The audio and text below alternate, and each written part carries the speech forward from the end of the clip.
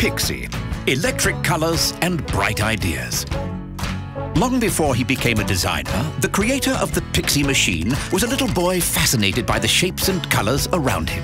He has indelible memories of an acid green little metal car, indigo blue fakir's disguise, and electric red candied apple at the fun fair.